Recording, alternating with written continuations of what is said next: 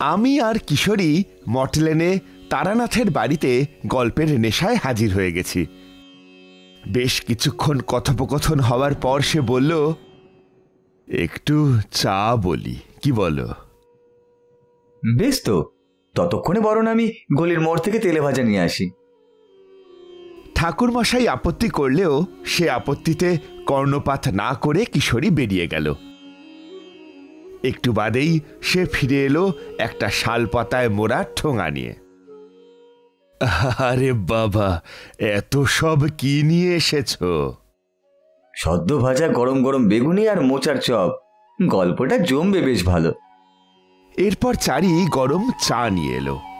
চা আর গরম বেগুনি খেতে খেতে আমি মনে মনে ভাবছিলাম ঠাকুরমশাইকে জিজ্ঞাসা করব আজকের দিনে দাঁড়িয়ে তার সংসার চলে কীভাবে? কিন্তু সে কথা জিজ্ঞাসা করার আগেই ঠাকুরমশাই বলল মধু সুন্দরী দেবীর কথা তোমাদের তো বলেছি। হ্যাঁ তবে আরও শোনার ইচ্ছে হয়। বেশ, তাহলে শোনো। একবার বরাকর নদীর ধারে শোল মাছের নৈবেদ্য নিয়ে মধু সুন্দরী দেবীকে অর্ঘ্য দিয়েছিলাম। সেই রাতে নদীর ধারের শালবনে দেবী আবির্ভূতা হলেন। দেবী তার অপার করুণা আর ভালোবাসা দিয়েছিলেন আমায়। প্রায় এক বছর ধরে বরাকর নদীর তীরের শালবন আমার কাছে তীর্থস্থান হয়ে গিয়েছিল। রোজ রাত্রিরে দেবী দেখা দিতেন। মহাডামর তন্ত্রের মাতৃরূপে বা কন্যারূপে যে দেবীদের পাওয়া যেতে পারে তাদের সাধনা আমি করিনি। মধুসুন্দরী দেবীকে প্রেমিকা হিসেবে পেতে চেয়েছিলাম। কিন্তু কিন্তু কি ঠাকুরমশাই? কিন্তু আমরা সাধারণ মানুষ রে ভাই।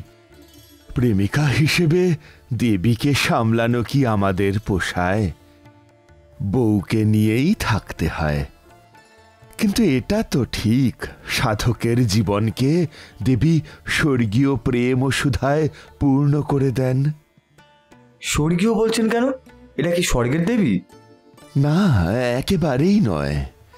এরা মানুষও নয় আবার সাধারণ অর্থে প্রেত নয় দেবতা তো নয় ভূত বলতে লোকে বোঝে পরলোকের অধিবাসী। মানুষ মরে সেখানে যায়। এরা মানুষ এবং তথাকথিত ভূত প্রেতের মাঝামাঝি এক জগতের বাসিন্দা। আজ যে দেবীর মহিমা আমাকে সেবা আর প্রেমে ধন্য করেছে কাল মন্ত্র বা সাধনায় একটু ত্রুটি হলে পিসাচিনীর মতো সে আমাকে ধ্বংস করবে। এদের প্রেমও চরম, প্রতিহিংসাও চরম। সাধক তো কোনো অন্যায় করেননি। তাহলে প্রতিহিংসা কিসের? সে কি কথা? তোমাকে যদি তোমার ইচ্ছার বিরুদ্ধে কেউ বল প্রয়োগ করে খাটিয়ে নেয়, সেটা কি তোমার ভালো লাগবে? এমনই বিপুল ক্ষমতাশালী ডামরিদের তুমি মন্ত্রের বাঁধনে আটকে ইচ্ছে মতো কাজ করাচ্ছ। এতে কি তারা খুশি হচ্ছে? কিন্তু তা সত্ত্বেও তারা তোমার কৃতদাস হয়ে আছে। তাই সাধনায় কিংবা মন্ত্রে এতটুকু ছিদ্র পেলে তারা তোমায় নৃশংসভাবে হত্যা করবে। যাকে, থাক সব কথা। হ্যাঁ যেটা বলছিলাম, বরাকর নদীর ধারে আমার সাধনার খবর পেয়ে আমার বাড়ির লোক আমাকে ধরে আনে। বাড়ি ফিরে আসবার আগের দিন রাতে শেষবারের মতন দেবী আমাকে দেখা দিয়েছিলেন। দেবী বলেছিলেন, কিছু শক্তি আমি তোমাকে দিলাম। যদি বুঝে ব্যবহার করতে পারো, তাহলে জীবনে অন্তত তোমার কখনো অন্ন বস্ত্রের অভাব হবে না। এরপর আমাদের আর দেখা হবে না। যদি না যদি না যদি না কি? বলে যাও বলে যাও মা, বলে যাও, যদি না কি? দেবী উত্তর দিলেন না, চলে গেলেন। এবার বুঝেছ তো, আমার সাংসারিক অবস্থা যাই হোক না কেন, দেবীর আশীর্বাদে একরকম চলে যায়। বুঝলাম আমার মনের কথা ঠাকুর মশাই বুঝে ফেলেছে। আর সেটারই উত্তর সে এতক্ষণ দিল। এবার একটা পাসিং শো ধরিয়ে ঠাকুর মশাই বলল,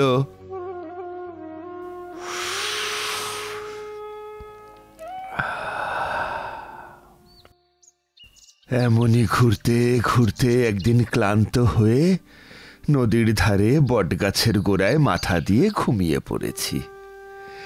ঘুম ভাঙতে দেখলাম সূর্যাস্ত হতে আর খুব বেশি দেরি নেই। লোকমুখে শুনেছিলাম আরও মাইল কয়েক এগিয়ে গেলে পড়বে জয়তলা গ্রাম। সেখানকার মুখুজ্জে জমিদারেরা যাত্রীদের জন্য অতিথিশালা তৈরি করে রেখেছেন। সেখানেই রাত্রিটা থাকব বলে ঠিক করলাম।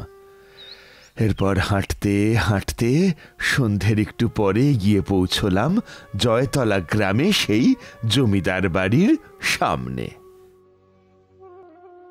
মুখুজ্জেরা একসময় খুব নাম করা জমিদার থাকলেও এখন তাদের খুব একটা ভালো অবস্থা নয়। সেটা তাদের ওই বিশাল বড় বাড়ির মেরামতের অভাব দেখেই বুঝতে পারলাম। কিন্তু মানুষদের আনাগোনাতে বনেদি আনার ছাপ। এরপর দেখলাম একটা লণ্ঠন নিয়ে নায়েব মশাই বসে হিসেব দেখছেন। বাড়ির উঠোনে গিয়ে দাঁড়াতেই নায়েব মশাই মুখ তুলে বললেন কে? কি চাই? আগে আমি তারানাথ চক্রবর্তী ভবঘুরে বলতে পারেন।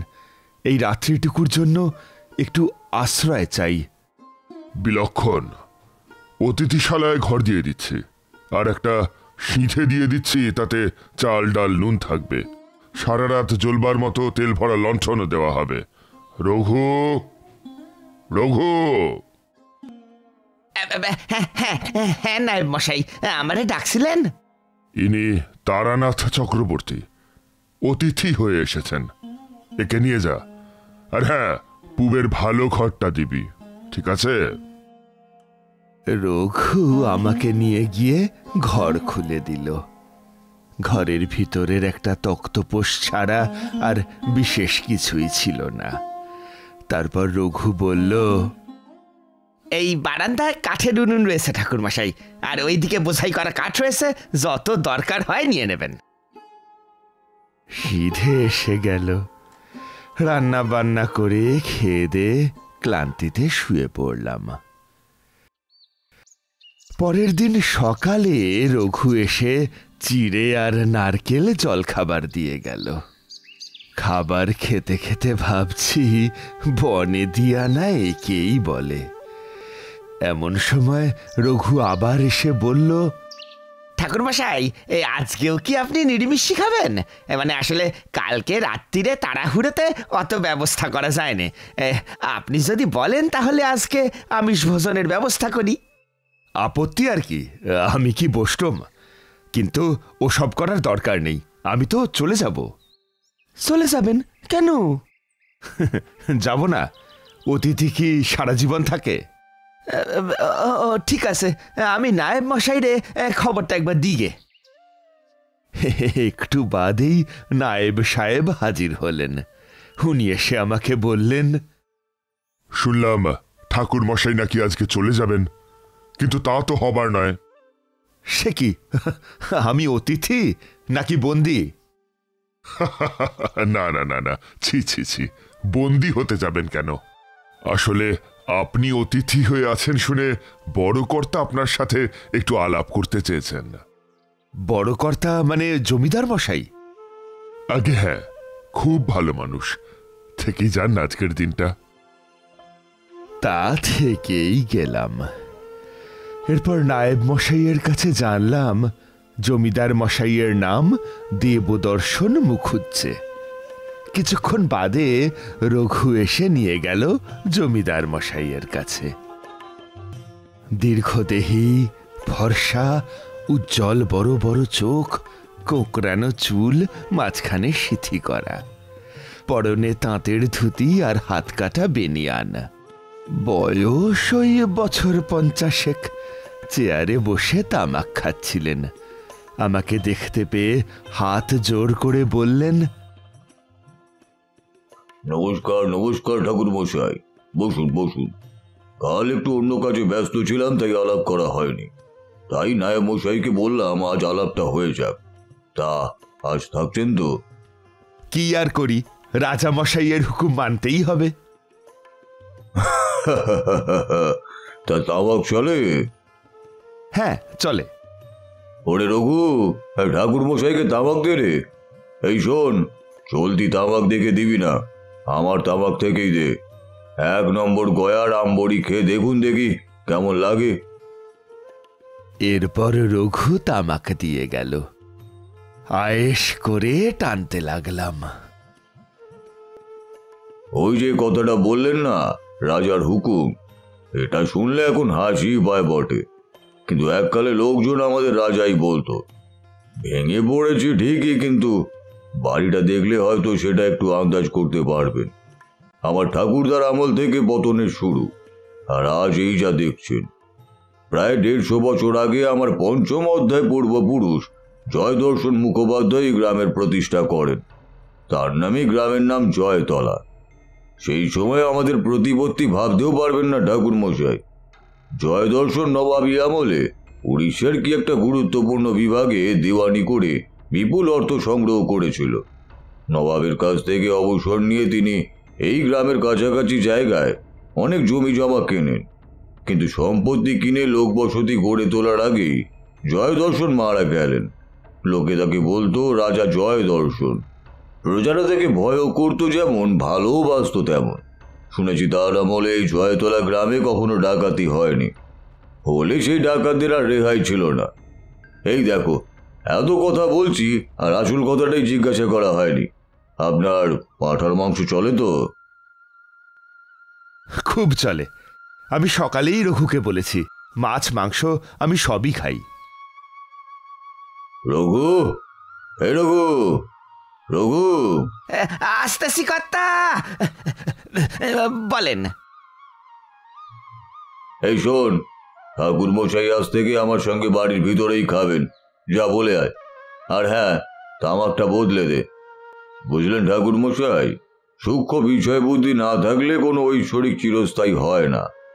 জয়দর্শন তার বাবার শ্রম আর বুদ্ধি দিয়ে যা গড়ে তুলেছিলেন, পরে দু তিন পুরুষে তা সবই গেল। এর সবচেয়ে বড় কারণ কি জানেন? একতার অভাব। এখন এই গ্রাম ছাড়াও জয়তলার কত জায়গায় মুখার্জিরা ছড়িয়ে রয়েছে। সন্তুষ্ট কেউই নয়। সকলেরই ধারণা সে তার ন্যায্য প্রাপ্যের চেয়ে কম পেয়েছে। আমি অবশ্য ঝগড়াঝাটি করিনি। বাপ, পিতামহের এই ভদ্রাসন আমার সব শক্তি দিয়ে ধরে রেখেছি। আমাদের পরিবার শেষ বড় ধাক্কা খেলো আমার বাবার আমলে। আমার ঠাকুরদাকে বাবা খুবই ভালোবাসতেন। তাই ঠাকুরদার মৃত্যুর পর বাবা স্থির করলেন। একটা অসাধারণ শ্রাদ্ধের আয়োজন করবেন। বাবা এটা করলেন ঠাকুরদাকে ভালোবেসে। আপনি তো পণ্ডিত মানুষ। ঠাকুরমশাই, কত রকম শ্রাদ্ধ হয় তা তো নিশ্চয়ই জানেন। সবচেয়ে অনাড়ম্বর হল তিল কাঞ্চন শ্রাদ্ধ, তারপর ষোড়শ প্রচার তারপর বিশদ স্বর্গ, তারপর দান সাগর এই দান সাগরে গিয়েই সবাই থেমে যায়। কিন্তু এর চেয়েও বড় মাপের শ্রাদ্ধ আছে যা হলো। দ্বিজ দম্পতি শ্রাদ্ধ। বাহ আপনি জানেন? অবশ্য আপনি তো জানবেনই। এই শ্রাদ্ধে তেল কাঞ্চন থেকে শুরু করে দান সাগর অবধি সবই করতে হয়। তারপর এক ব্রাহ্মণ যুবক আর কুমারী মেয়ের বিয়ে দিতে হয় ওই মণ্ডপে। তাদের ভূমিদান করতে হয় মেয়ের গয়না ছেলের যাবতীয় জিনিস দিতে হয়। তাহলে বুঝতেই পারছেন কাণ্ডখানা। হ্যাঁ এসব করতে যা খরচ হয় অনেক ধনবান মানুষও তার সারা জীবনে তা উপার্জন করতে পারেন না। আমি তখন অনেক ছোট। এই এই রঘু। আসতেছি। হ্যাঁ বলেন কর্তা। আপনি ভাগ্যবান। নিজ চোখে এই জিনিস দেখতে পেয়েছেন। এরপর রঘু এসে জমিদার মশাইয়ের কোলকে বদলে দিয়ে গেল। ঠাকুরমশাই জানেন এই যে এত সব অর্থ খোয়া গেছে, এতে আমার কোনো দুঃখ নেই। আমি লোভী মানুষও নই, কিন্তু আমার একটা ইচ্ছে ছিল, এই বাড়িটার একটু মেরামত করব। কিন্তু এখন আমাদের যে অবস্থা, তাতে আর এত বড় বাড়ি মেরামত সম্ভব না। আমি চোখ বুঝলে হয়তো কি হবে তা জানি না, কিন্তু এই বাড়িতে ছোটবেলা থেকে আমার স্মৃতি জড়িয়ে রয়েছে। আমি থাকতে বাড়ি ভেঙে পড়ে যাবে ভাবলেই না, খুব খারাপ লাগে ঠাকুর মশাই মানুষটার দুঃখ আমি বুঝতে পারলাম। এরপর মুখুজ্জে মশাই বললেন আপনাকে কেন থেকে যেতে বললাম জানেন? আমার ধারণা আপনার কৃপায়। আমার সমস্যা কিছুটা লাঘব হবে। "আ- আমার কৃপায়? কীভাবে? আজ থেকে মাঝখানেক আগে একজন পাগলের মতো ভবঘুরে অতিথি দিন দুয়েক অতিথিশালায় এসেছিল। পাগলা মতো ছিল বটে কিন্তু তার চেহারার মধ্যে কি যেন একটা ছিল, যাতে তাকে পুরোপুরি উড়িয়ে দেওয়া যায় না। ভালো বংশের সন্তানের মতন স্বভাব, উজ্জ্বল চোখ, দোষের মধ্যেই মাঝে মাঝে একটু অসংলগ্ন কথা বলে। সে বলেছিল আমাদের অতিথিশালায় কিছুদিনের মধ্যেই এমন একজন আসবে, যার সংলগ্নে আমাদের পরিবারের বর্তমান আর্থিক সমস্যা অনেকটাই লাঘব হয়ে যাবে। আপনি সাধক মানুষ ভাবলাম আপনি যদি সেই লোক হন। বুঝতে পারছ তোমরা? এ কথা শোনার পর আমার মনের মধ্যে একটা ঝড় বয়ে যাচ্ছিল। মনে মনে ভাবলাম তবে কি সে? আবার সে? বললাম অসংলগ্ন কথা বলতো। মানে মানে কি অসঙ্গত কিছু? না না সেরকম কিছু না। আলোচনা করতে করতে হঠাৎ হঠাৎ এমন একটা কথা বলতো যার কোনো মানেই হয় না। একটা ছড়া তো খুব বলতো। ছড়া? কি ছড়া? সে থাক থাক। সে শুনলে আপনি হাসবেন। পাগলের কাণ্ড কারখানা। না না বলুন বলুন মুখুজ্জামশাই বলুন। হয়তো এর উপরেই আপনাদের পরিবারের ভাগ্য নির্ভর করছে। আপনিও কি তাই মনে করেন? হতেও তো পারে। আপনি বলুন। সেদিন সকালবেলা কাছারিতে বসে হিসেবপত্র দেখছি। এমন সময় লোকটি হঠাৎ এসে দরজার সামনে দাঁড়িয়ে আমার দিকে তাকিয়ে বলল দিকে দিকে সাগরেতে ভাই চোখে চোখে চাঁদ খুঁজে পাই। আমি অবাক নায়ব মশাইও অবাক বলে কি লোকটা? পাগল নিশ্চয়ই কিন্তু পাগলে কি এমন ছড়া বলে নাকি? যাই হোক এরপর সে আমার দিকে তাকিয়ে বলল এই অতিথিশালায় এই বাড়িতে একজন আসবে শিগগিরই। সাধক মানুষ তাকেই ছড়া শুনিও সে তোমার উপকার করবে। এই ঘটনার পর আর একটা দিন সে আমাদের বাড়িতেই ছিল। ওই একটা দিনই। প্রায় সে ঘুরে ঘুরে আমার কাছে আসতো আর বলতো মুখস্থ করে নাও মুখস্থ করে নাও খুব কাজে দেবে। আমি মুখুজ্জে মশাইকে জিজ্ঞাসা করলাম লোকটির নাম নাম বলেছিল? বলেছিল ব্রাহ্মণ সন্তান। নামটা কি বলেছিল? হ্যাঁ হ্যাঁ মনে পড়েছে। অমর জীবন ভট্টাচার্য। যতটা চমকানো উচিত ছিল, আমি ততটা চমকালাম না। কারণ আমি একরকম বুঝতেই পেরেছিলাম, উনি এই নামই বলবেন। কাছারি বাড়ির কার্নিশে বাসা বাঁধা পায়রার দল কুনকুন শব্দ করছে। এ বাড়ির এখন কোনো বিপদ নেই সামনে বরং আগামীতে এ বাড়ির মঙ্গল হবে। স্থান মঙ্গল বোঝার শক্তি দিয়েছিলেন মধুসুন্দরী দেবী। সেটি এখনও নষ্ট হয়নি তাই অনুভব করছিলাম সবটা। এরপর মুখুজ্জে মশাই আমায় জিজ্ঞাসা করলেন ছড়াটার মানে কিছু বুঝতে পারলেন ঠাকুর মশাই হ্যাঁ ইয়ে মানে না মানে এখনও যে কিছু ধরতে পারছি না। আচ্ছা মুখুজ্জে মশাই একটা কথা বলব যদি কিছু মনে না করেন। হ্যাঁ বলুন না। অমর জীবনের বলে যাওয়া সেই লোক যদি আমি না হই তাহলে আর দিন দুই এখানে থাকতে পারব তো? নিশ্চয়ই থাকবেন। অতিথি নারায়ণ কত সৌভাগ্য থাকলে তবে বাড়িতে অতিথি আসে। ধন্যবাদ। আচ্ছা এই অমর জীবনের বয়স কীরকম? খুব বেশি নয়। ওই পঁয়ত্রিশ কি চল্লিশ হবে। মুখুজ্জে জমিদারের কথা শুনে আমি মনে মনে ভাবলাম পঁয়ত্রিশ চল্লিশই বটে। এরপর থেকে গেলাম মুখুজ্জদের বাড়িতে। পরের দিন সকালে আমি আর মুখুজ্জা মশাই বৈঠকখানায় বসে রয়েছি। এমন সময় একজন লোক একটা মস্ত ছাতা হাতে ঘরে প্রবেশ করে ছাতাটা দরজার সামনে রেখে বললেন, নমস্কার রাজামশাই। এবছর তো আমার খেলা সামনের মাসেই। তা আজ এখানে টিকিট দিয়ে যাই। সোমবার বিলেতের মেলে কাগজপত্র সব পাঠিয়ে দেব। আমি কিছু বুঝতে পারছি না, কিন্তু বেশ কৌতূহল হচ্ছে। কিসের টিকিট? বিলেতের মেলে কাগজ পাঠানো কি ব্যাপার? দেবদর্শন বাবু বললেন বিলেতি ডার্বির টিকিট। পাবো কত সে আমি নিজেও জানি না। কিন্তু তাও প্রতি বছরই টিকিট কাটা আমার অভ্যাস বলতে পারেন। এই দাও হে ভূষণ রায় এখন টিকিট দাও। কোনটা দেব রাজামশাই যেটা হোক খুশি দাও না। তাহলে এইটা। এ একটু দাঁড়ান। কই দেখি? দেখি? না না না না ওটা নয়। আপনি আপনি এটা নিন। টিকিটের গোছা থেকে একটা টিকিট বেছে দিলাম।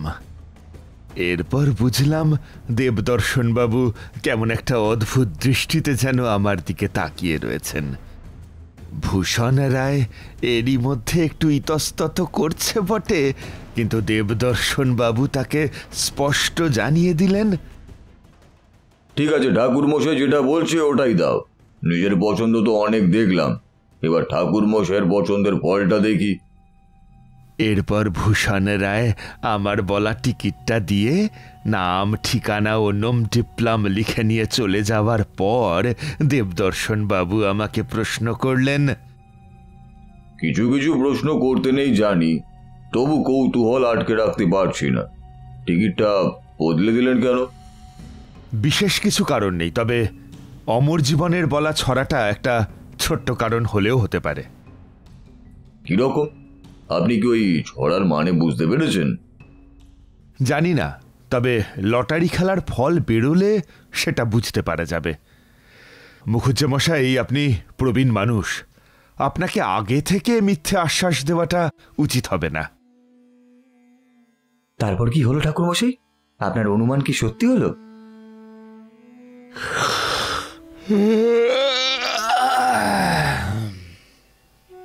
সেই কথা না হয় পরদিন বলব।